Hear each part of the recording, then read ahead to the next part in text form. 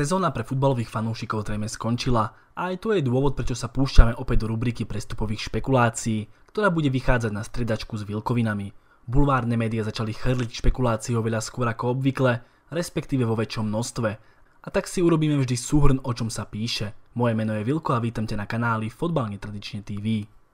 V popisku pod videom máte odkazy do našej uzavrenej skupiny a tiež si pozrite náš merch.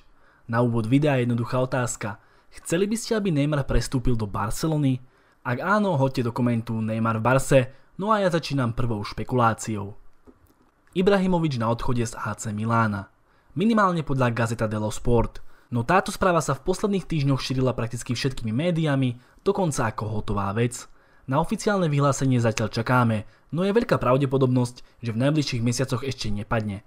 Obe strany majú predsa čas a určite bude aj záujme ACčka udržať si švedskú legendu v kabíne, keďže Zlatan okamžite svojimi výkonmi pozdvihol Rossoneri, či už na ihrisku, ale aj mimo neho.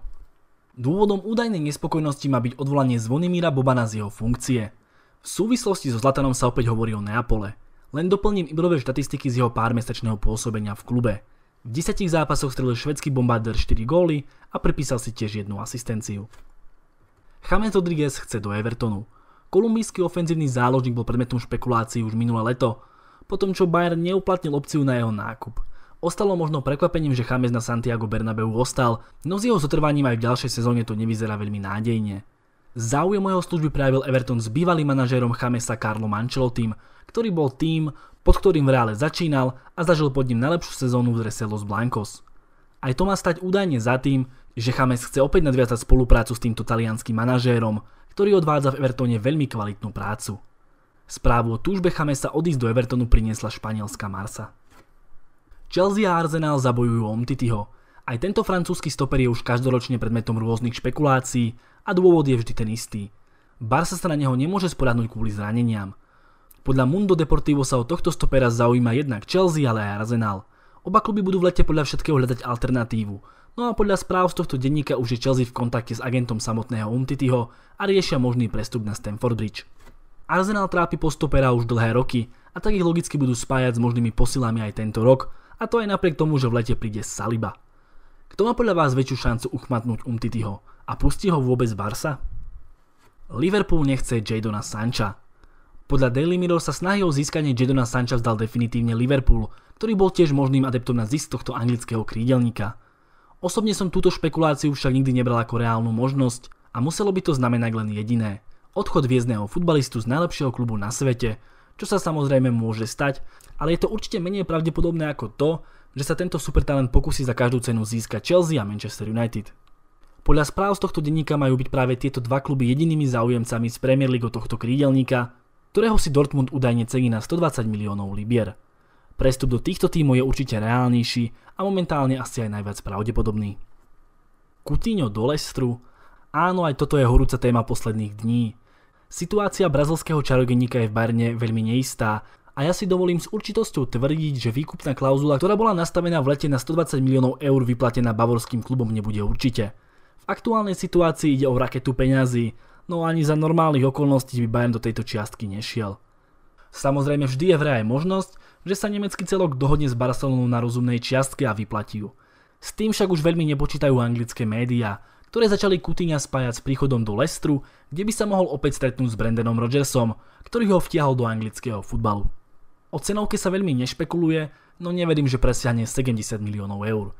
Tie by ale pre líšky nemuseli byť problémom, zvlášť ak by došlo k odchodu Madisona, ktorý bude stať ešte viac ako brazilská hviezda.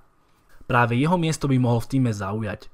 Otázne však je, či bude Coutinho ochotný ísť, čo sa mena klubu týka tak dole.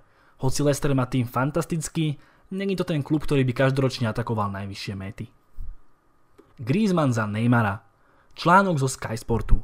Podľa neho sa barcelonský klub bude v lete snažiť predať už po jednej sezóne Antoana Griezmana a to z toho dôvodu, aby sa tomuto katalánskému klubu podarilo zajsiť dostatočný balík peňazí na kúpu Neymara a tiež Lautara Martineza. Podľa správ by mohla byť v reáji možná výmena Neymar Griezmann s tým, že by katalánsky klub za Neymara doplácal čiastku v hodnote 50 miliónov eur. PSG si svoju brazilskú superstar totiž cení na 150 miliónov eur. Pád prestupovej hodnoty má za následok aktuálna kríza vo svete, takže preto aj pokles cenovky v prípade Neymara o takmer 70 miliónov eur. Čo sa týka Griezmana, tak ten sa stal terčom prestupových špekulácií takmer okamžite. Za čo môže? Hrávanie na inej pozícii, neskôr slabšie výkony na jeho pozícii a vždy sa riešili aj možné nezhody v klube spojené s jeho príchodom. Proste priveľa pletiek, polopravd má za následok okamžité spájanie Griezmana s letným odchodom z klubu, čím sa opäť začala krmiť aj téma Neymara a jeho príchodu, no a logicky je z toho výmena Grizy Neymar. Nevravím, že to nie je reálne, futbalový svet už zažil šokujúcejšie správy, no je to niečo, čo sme mohli zdať na situáciu oboch hráčov asi čakať. A rovno vám poviem, že táto kauza sa tu bude ťahať celé leto. Prijali by ste si fanúškovia Barcelony, ale aj PSG takúto výmenu? Bola by pre oba kluby prospešná? Napíšte mi váš názor do komentára. Willian do Juventusu. Talianský tutosport prišiel so správou, že by v ďalšej sezóne mohlo dojsť k opätovnému spojeniu Sary Willian, ktorého sme boli svetkami v jednej sezóne Premier League. Brazilskému krídelníkovi končí v tejto sezóne v Chelsea zmluva a tak by mohla stará dáma získať tohto 31-ročného krídelníka zadarmo. Popravde by ma tento prestup absolútne neprekvapil. Willian by to určite bral, prišiel by do klubu, v ktorom by mal veľkú šancu získať Scudetto, zároveň by dosť možno dostal kontrakt, ktorý by mal viac ako 2 roky, mal by tiež slušný plat, hral by s Ronaldom, no a Juventus tých krídelníkov potrebuje. Čo sa Juventusu týka, tak ak by brali Viliena vyslovene len ako možnosť na rozšírenie kádru, z lavičky, nenamietam. Ak by to mala byť reálna voľba do základu, prepad starej dámy by bol v ďalšej sezóne ešte väčší. Diego Godin do Tottenhamu. Odchod Diego Godina po pol roku z Interu Milano bol horúcou témou už počas januárového prestupového obdobia a horúco bude okolo urugvajského stopera aj behom leta, počas ktorého je jeho odchod už podľa mňa jasnou vecou. Godin si na Taliansko nezvykol, hraje v úplne inom systéme, na aký bol zvyknutý a celé to vôbec neklaplo. No a vyústilo to do toho, že ho na lavičku posadil mladý talianský stoper Bastoni. Corriere dello Sport informuje o záujme Joseho Mourinha o tohto skúseného stopéra, ktorý by tak na sever Londýna mohol zalepiť čertajúci sa odchod Jana Fertongena. O Godina prejavil Mourinho záujem ešte počas pôsobenia v Manchester United, no nakoniec toho nič nebolo. Toto spojenie by však mohlo klapnúť už v nasledujúcej sezóne. Dortmund je blízko k podpisu Bellingama. Nemeckému celku sa kúpa mladých talentovaných hráčov vypláca, no a už sa špekuluje kúpeť ďalšieho supertalentu z Birminghamu. Ide o 16-ročného stredného záložníka, ktorý sa stal súčasťou základnej jedenáctky Birminghamu v Championship. To spôsobilo obrovský rozruch a už teraz je tento hráč terčom prestupových špekulácií spájajúcich ho s každým anglickým veľkoklubom a tak som sa rozdol skôr vyťahnuť tú špekuláciu, ktorá ho spája s iným ako anglickým klubom. A áno, Dortmund je údajne jedným z nich. Samotného Bellinghama súdiť nejdem, nevidel som ho hrať, ale myslím si, že Dortmund by bol ideálnym klubom pre rozvoj jeho schopností a určite by som ho videl radšej tam ako niekde na lavičke v Manchester City, kde už sa plýtva potenciálom Fodena. V klube ako je Dortmund hráte najvyššiu úroveň, ofenzívny futbal a šancu určite dostanete, kdežto u anglických veľkoklubov je šanca menšia, no a zvoliť si priemerný klub v Anglicku nemusí byť tiež šťastným riešením. Cavani do Boca Juniors Tu už ide o reálnejšiu vec, o ktorej verejne hovoril športový rediteľ Boky Jorge Bermudez. Ten pre rádio kooperatíva ohľadom Cavaniho povedal Dúfam, že to za chvíľu bude oficiálne. Myslím, že tu chce prísť. Ja len dodám, že Cavani mu končí v lete zmluva z PSG a je len veľmi málo pravdepodobné, že dojde k jej predloženiu. Odchod Cavaniho je tutovkou. Ešte v zime sa spomínalo Atletico Madrid, no situácia sa zrejme zmenila a Cavani tak s veľkou pravdepodobnosťou zamierí na rodný kontinent do veľmi prestížneho celku. Osobne by som ho síce ešte rád videl na európskych trávnikoch, avšak tento krok nemožno kritizovať.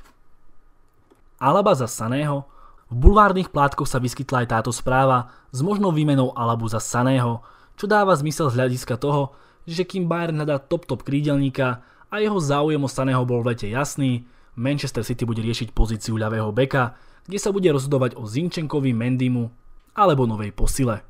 A keďže sa riešia prestupy, Bulvar rieši samozrejme nakupovanie a priživil sa na špekulácii ohľadom Saného. Média začali riešiť výmenu Alaba Sané.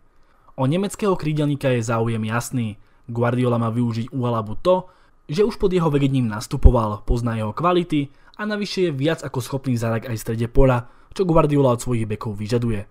Preto to médiám dáva zmysel a o tejto verzii špekulujú. O tom však nechce počuť Karl Heinz Rummenigge. Počul som, že sa šíria špekulácie o tom, že chceme vymeniť Davida Alabu do Manchesteru City za Leroya Saného. Poviem vám veľmi jasne. Je to ako rozprávka od bratov Grimovcov, ktorá nemá nič spoločné s realitou. Čím dal Rumenige jasne najavo, že Alaba sa nikam v lete stiahovať nebude. No ale iba vtedy, ak by sme verili jeho slovám, čo sa už v minulosti veľmi nevyplatilo. Čo by ste povedali na podobnú výmenu vy? Dávala by pre oba kluby zmysel, alebo by jeden z tímov vyslovene prerobil. V pozícii Bayernu by som do nej určite nešiel, šanca, že získajú Saného je aj tak veľmi vysoká. Aký je váš názor? Napíšte mi ho do komentu. Pevne verím, že sa vám dnešný prvý diel prestupových špekulácií páčil, no a prídem s nimi opäť zrejme o dva týždne. Nezabúdaj na náš merch a tiež uzavrenú skupinu, v ktorej už pondelok streamujeme manažéra. Zdraví ťa Vilko, nazdar.